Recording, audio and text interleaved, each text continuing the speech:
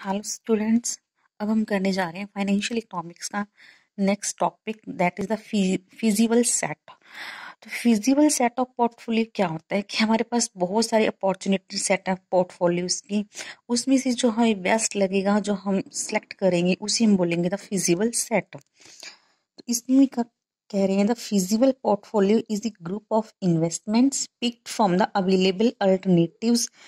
within an investor's capital resource limits investment goals and tolerance for risk हमारे पास बहुत सारे पोर्टफोलियोज हैं। हमने उसमें से एक सेलेक्ट सेलेक्ट किया। हमारे कैपिटल रिसोर्स को देखते हुए, हमारे इन्वेस्टमेंट गोल को देखते हुए और टोलरेंस फॉर रिस्क रिस्क लेने की कैपेसिटी को ध्यान में रखते हुए, उनमें से हमने एक पोर्टफोलियो को सिलेक्ट किया, जिसको भी हमने सिलेक्ट किया, जो हमें बेस्ट लगा, वही हमारा होगा the feasible set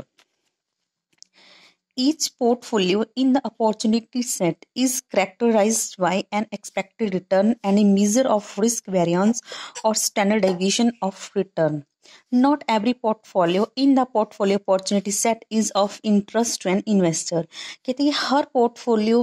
में हर पोर्टफोलियो में, यानी कि अपॉर्चुनिटी सेट में हमारे पास जितनी पोर्टफोलियो हैं, हर एक अलग अलग करेक्टरिस्टिक्स हैं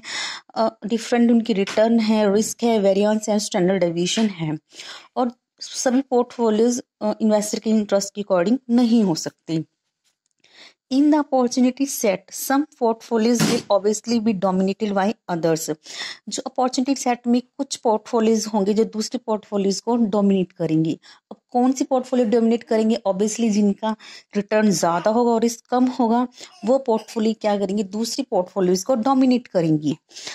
a portfolio will dominate another if it has either a lower risk or higher expected return. Portfolio that are dominated by portfolio are known as inefficient portfolio.